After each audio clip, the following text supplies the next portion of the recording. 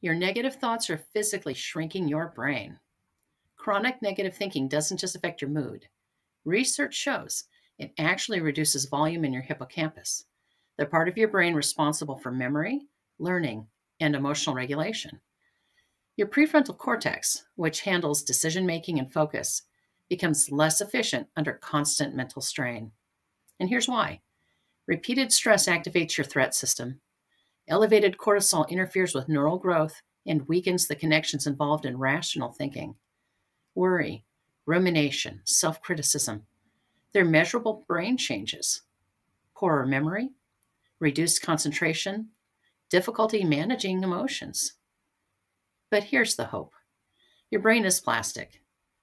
Gratitude, journaling, mindfulness, EFT can increase prefrontal cortex activity and support hippocampal recovery.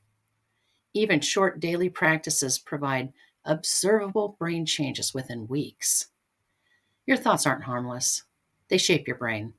Choose them intentionally.